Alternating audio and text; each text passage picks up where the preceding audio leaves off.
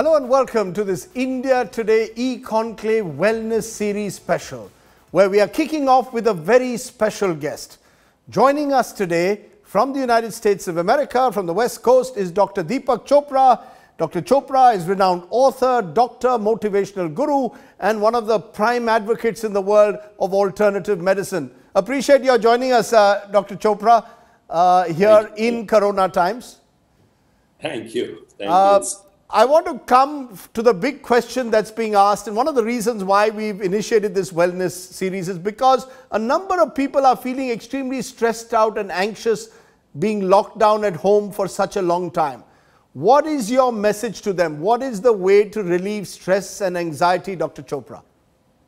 Okay, first of all, it's really important to recognize that stress can be as much of a killer as the infection itself stress causes what are called cytokine storms or acute inflammation on top of the chronic inflammation that is already there for people at risk. So, if this cytokine storm is unabated, it leads to morbidity and mortality. And if stress is not controlled, of course, then that leads to biological havoc.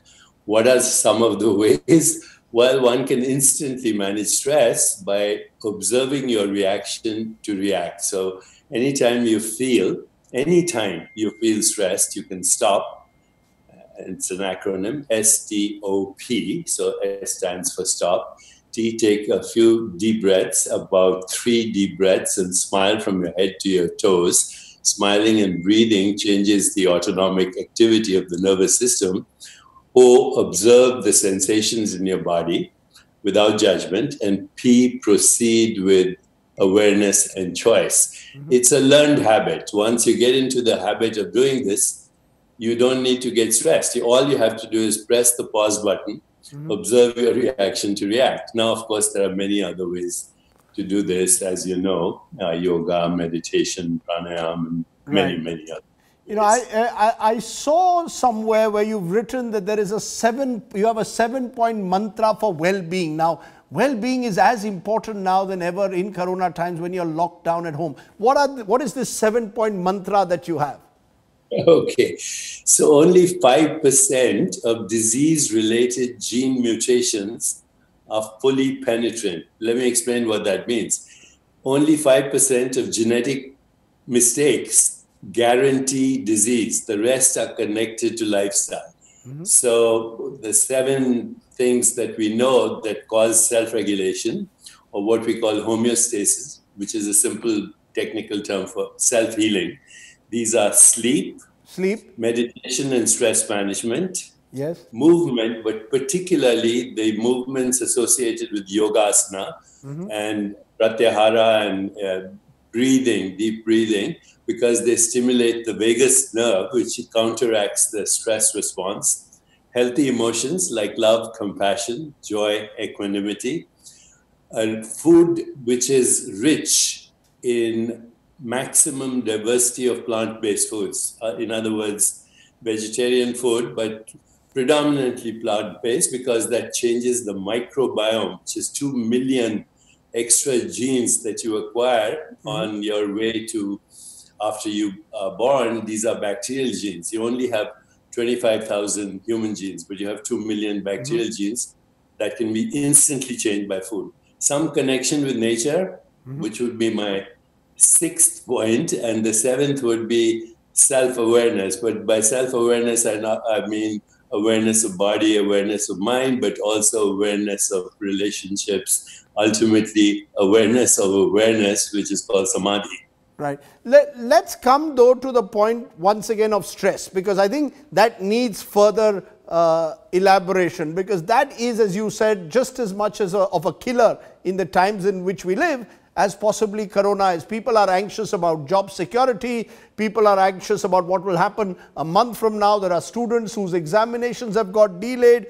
What would you suggest to them? How do they, on a day-to-day -day basis, Dr. Chopra, deal with this constant stress?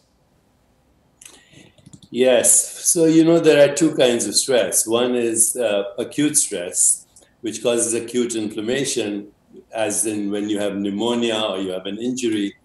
Then there's the stress you're talking about, which is acute episodes of stress and a chronic low grade anxiety and a low grade depression that accompanies the perception of threat mm-hmm. physical threat, emotional threat, psychological threat, doesn't matter. And this is what causes biological havoc.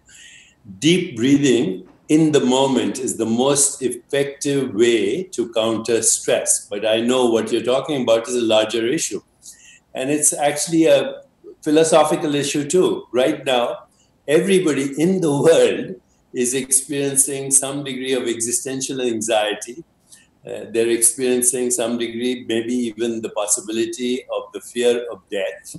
They're experiencing, for the first time, not taking their existence for granted. So, which is a very interesting thing. We only take our existence not for granted when there's a crisis, when in fact we should be grateful for existence every moment. Mm-hmm. So, if you simply ask yourself one thing, what am I grateful for? And feel your body and experience your mental space in that moment, stress will go away. Now, long term, of course, what we're going through, by the way, collectively, worldwide, is a grief process, which means we took something for granted, now we've lost it. So grief goes through certain stages. First, there is victimization. Why me? Well, it's not just you, it's everyone.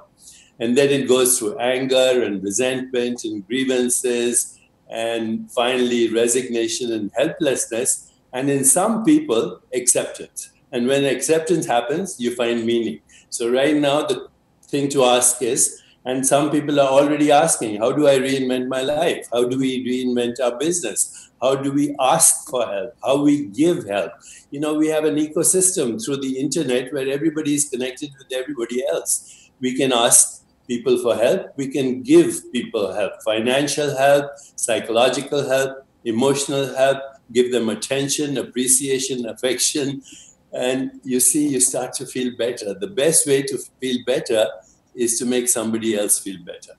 That's a, that's a lovely way to put it. The best way to feel better is to make someone else feel better because, you know, we're all stuck in a family at home, uh, each one with our own anxieties and our own uh, uh, challenges. Do you believe that this is a great moment to restore the sense of the family as a unit, to try and share much more with each other? Would you recommend that at least spend an hour just talking to each other? Well, actually, you know, the studies show that you need to spend six hours in social interaction every day. Otherwise, you get depressed or anxious. So, of course, these days you can do that through the internet. You can send somebody an emoticon, a hug, a kiss, and you can give them a dopamine hit. It doesn't matter where they are. You can change their biology. You can uh, have them uh, get a dopamine boost, boost, a serotonin boost, a opiate boost just by communicating them. And four things attention, deep listening, affection, telling them you care, appreciation, noticing something good about them, and attention, but also acceptance. Don't try to change anyone right now. It's hard enough for you to change yourself. You know, I've, I've got a message from uh, a question from Priya Patel. She says, I have been at home for the last several weeks. I am missing office. Now that's very strange. Uh, you know, most people are perhaps now having forcibly to work from home, but she says she's missing the very idea of going to office. So how does she recreate that atmosphere at home in a manner that she feels comfortable with herself? I think that's what she's trying to ask. Yeah, so you know, right now I've created an office in my home. You can create an office in your home, and you can actually keep the same hours.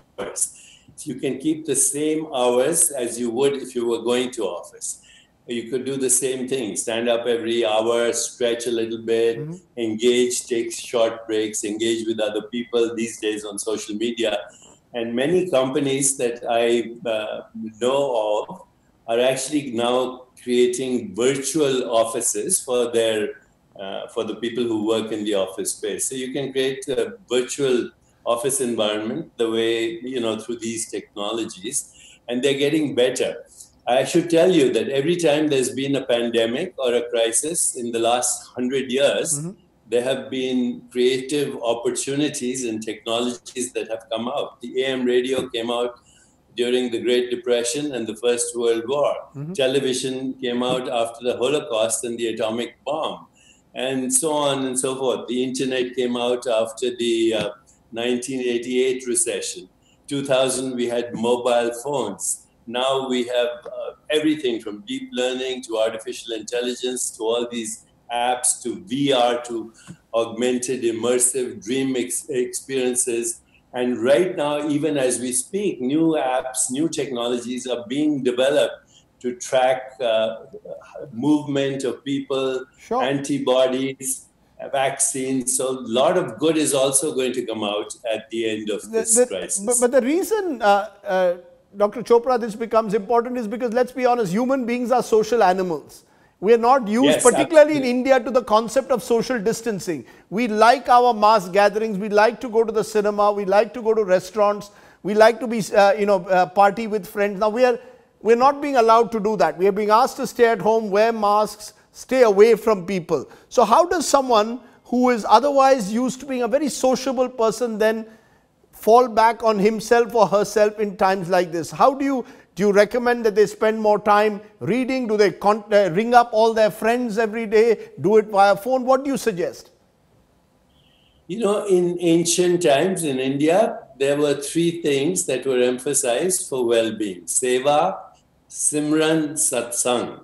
Seva means selfless service. Mm-hmm. Right now, don't think about yourself, think about who you can help. Simran engage in a practice of self reflection every day. Who am I? What do I want? What's my purpose? What can I be grateful for? And Sangha is community. So it's your community at family, your children, your friends, your parents, your significant other, but it's also the community at large. So we do our best right now to engage in every aspect that we can. It is true if humans or even primates are isolated and don't have physical contact, real physical contact, then their emotional brain goes also out of balance. So physical contact is actually very important. But right now we have to take this precaution because otherwise the pandemic spreads with how- a very great speed. And you also know that flattening the curve sure. doesn't mean that you will, all you do is delay the onset. So you have, have to wait till the curve flattens and then it goes down before we can take these risks. But so but people given, have to ask themselves: But given is the my fact, life more valuable, or the fact that I enjoy party? But but given the fact that uh, physical distancing is reduced, do I need to increase the emotional quotient in a way in my life? Try and find new ways in which I can satisfy myself emotionally. Maybe yes, develop, maybe have a new hobby. Would you recommend that people sort of discover a new hobby or a new challenge for themselves? There are many things people can do. They can watch funny movies. They can um, uh, tell jokes. They can see other uh, films. They can engage in art, in music, in dancing, in poetry, in storytelling and uh, in of course you know my favorite are mind body practices like tai chi qigong mm-hmm. yoga deep breathing. These have direct effect on your nervous system even storytelling. If you listen and uh, you're inspired by good stories the neuroanatomy of your brain changes. Every experience that you have it doesn't matter. Eating breathing digestion metabolism but also psychological experiences memories thoughts imagination all these influence our emotions, and emotions regulate a part of our brain called the limbic system, which is responsible for both immune modulation and endocrine modulation. So, emotional engagement is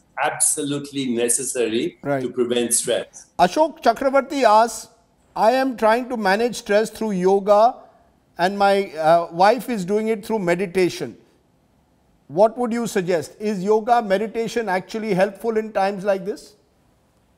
It's extremely helpful. The yoga asanas, you know, the word asana means seat of awareness. So the yoga asanas specifically target different organs in the body through the vagus nerve, which is an anti inflammatory nerve.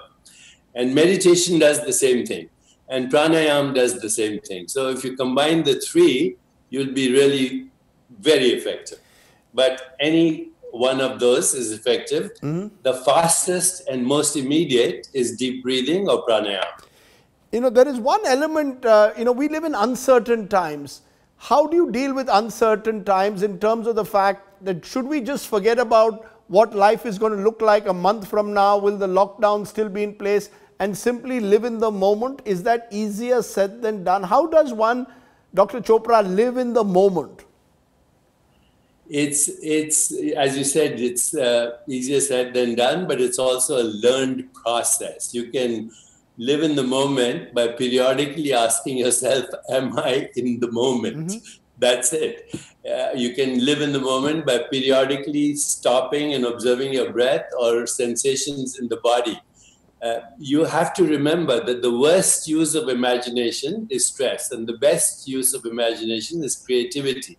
When you live in the moment, you have access to creativity. So, right now, it is important to harness your creativity, find opportunities to reinvent your body, to reinvent your relationships, in other words, to reinvent your entire life. It's true. When we go back, mm-hmm.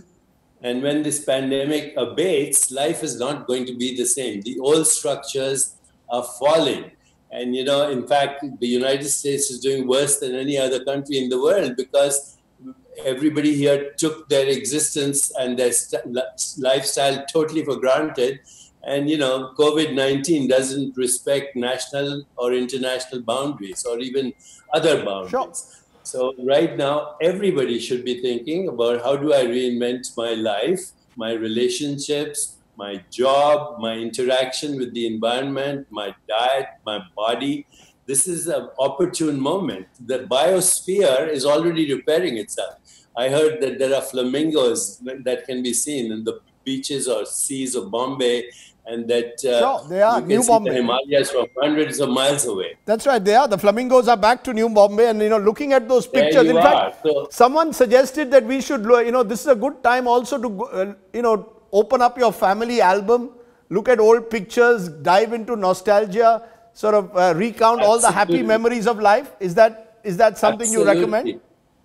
Absolutely. When you are feeling stress, particularly, feel your body because you know stress causes distressful emotions. So when you're feeling stress, feel your body, close your eyes, and remember a happy experience. Immediately, the sensation will change. Dr. Chopra, there is uh, Ashika Menon who wants to know.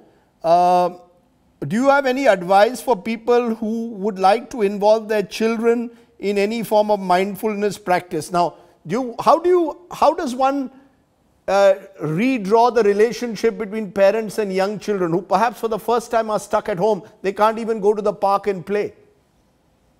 So, before the age of five years, children should not be taught any meditation or any disciplined activity at all. Children like to play. And so, that's the most important thing before the age of five years. Also, children don't listen to what you're saying, they watch you. And at the up to the age of five years, they watch your eye movements, mm-hmm. your facial expressions, the tone of your voice and your body language. And if you are stressed, they will get stressed. So if you are playing with them, if you're smiling, if your body language reflects playfulness and joy and curiosity and wonder and storytelling, that's the best thing you can do for children. After the age of five, yes, you can say, okay, let's keep quiet, right. silent for five minutes, and then slowly increase that, and then increase that with mind body games. And even these days, there are amazing video games that, that are available that will help you self regulate your emotions, your body language, your eye movements, mind body coordination. There's a lot of opportunity right now for entertainment, storytelling, music, poetry, and uh, sure. all the things I mentioned. You know, uh, you, I, I, believe you and Oprah Winfrey are bringing out some kind of a, uh, a video, or is it a uh, is it a lesson for people, a meditation no, kit? Oh, oh, What's it about? Oh, yes, yes, yes, yes. I thought you were talking about something else. Yeah. We are offering a meditation for uncertain times, uh, and it's offered right now. You can go to our website, chopracentermeditation.com, and download it. And so far, between six to 10 million people have taken advantage of the uh, meditation that Oprah and I are offering online.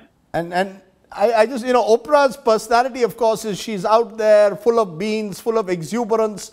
Um, do we need to look for role models to uh, at all at times like this? People who we should be looking up to as possible role models. Uh, I have done so all my life. Um, my parents were my first role models, and after that, you know, but there were uh, great luminaries in the world who were my role models, even though some of them I never met, like Mahatma Gandhi, and later on Nelson Mandela, and even others like Martin Luther King Jr. I think uh, the more you uh, have access to role models who are basically archetypes that represent some greater vision, right. a bigger cause, that helps a lot, yes. Let me ask you in conclusion, how does one keep completely calm in times like this? Uh, you know, uh, where does one get, is it an inner calmness that one must cultivate over time? You know, I don't necessarily meditate. So what would you recommend for someone like me who doesn't meditate? and does a daily job in front of a television screen? You could just sit quietly for five minutes before you start your day. Mm-hmm. And you could ask yourself a couple of questions like, uh, what kind of day do I want to have? What is my purpose? What is what am I grateful for? Uh, who am I beyond this social persona that I have? And you could also introduce. I have a habit of self reflection mm. and deep meditation, but a little bit of self reflection, and then introduce intentions right. In your uh, body mind. And usually, what I do is I introduce four intentions joyful, energetic body, loving, compassionate heart, reflective, alert mind, and lightness of being right. and service, something like that. And then what you do is your day is guided by the intentions you've already introduced during the day. Dr. Chopra, so I just have 30 seconds. Tell me how is, you know, how have you, what is the one new thing you've learned in the last month of Corona? Sitting at home, Surrender what is the new, the, what is, what's the new hobby you've learned? Surrender to the wisdom of uncertainty every day. Surrender? To the wisdom of uncertainty. That is the key to creativity. Surrender to the wisdom of un uncertainty. That is the key to creativity. You're saying this is a great opportunity in a way to get our creative genes really uh, expanding. Dr. Chopra, it. it has always been a pleasure talking to you. You've given us a sense of calm in these troubled times. I appreciate that you've taken the time off to join us there from California. Thank you very much. Thank you. Thank you. Dr. Deepak Thank Chopra you, joining me there as part of the India Today Wellness Series. Thanks for watching. Stay safe. Stay at home. Bye for now.